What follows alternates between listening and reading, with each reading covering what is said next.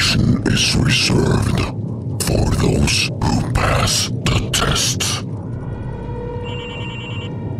If you survive, an elevated existence awaits. Initiate Phase 1. Power up the breeze cannon.